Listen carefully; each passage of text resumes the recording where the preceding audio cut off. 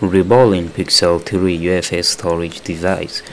The glue that they use here is very hard, like as hard as super glue. As you can see, it took me like a couple of minutes just to take off the chip. As you can see, everything looks messy right there. I mean the the the glue that they use here is like super glue, like it's very hard. That's why you can see some points missing right there but we are going to look into the point the, the the missing points right there even the reasons why i made this video so if you take a look i'm cleaning uh, the everything up cleaning make sure making sure that the glue is gone everything is leveled.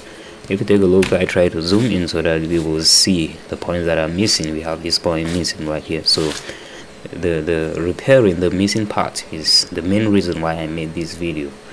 Because I normally upload videos doing reballing and all that so it's not a new thing but I don't usually do this because I hardly get these pins off. Uh, the, the, the missing pins when I remove a chip just that the soul the the glue that I use here it's very hard the pixel glues especially pixel 3 this one is not even hard. The UFS uh, glue is not even hard. The one of the charging IC in this particular pixel is crazy.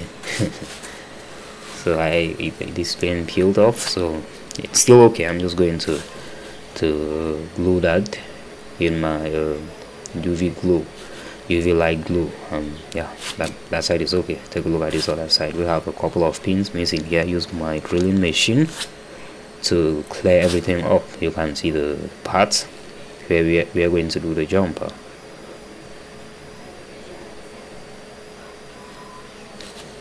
So doing this stuff i'm not that perfect in doing this stuff. In fact if you take a look you will see uh, the more you do it that's why i always say practice makes everything perfect the more you do it the more you get better.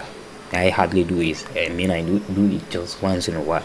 So you can see that that one is not perfect right? So just take a look at how I, I became perfect by just doing the first two. If you take a look at this one you will see.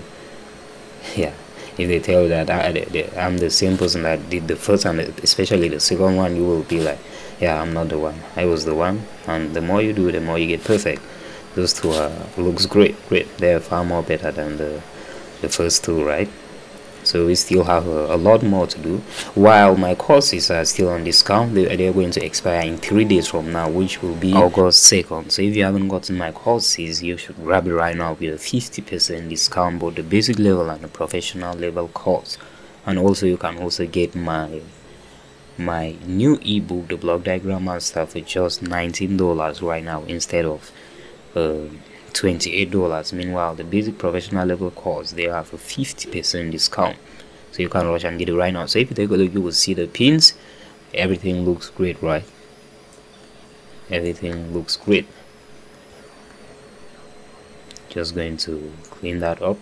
Make sure that everything is level always do this to make sure that everything is level. If those who are watching this if you have been seeing the videos of me doing doing the same thing while reballing you will see that i actually became perfect. Yeah improve let me say improve because yeah we still have people doing far better than this when uh, doing all these uh, repairing parts. So i actually be, became better while doing this particular one right here.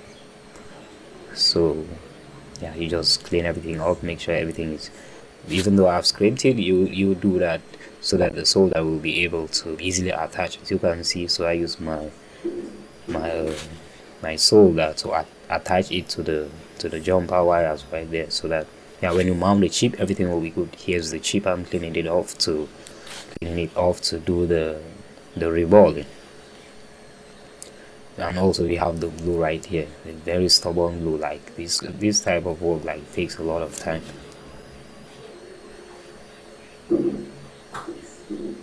Do that just like that and very smooth. You can see the reballing is clear. Here we go. And we mount the chip just like that and very smooth but still the phone refused to work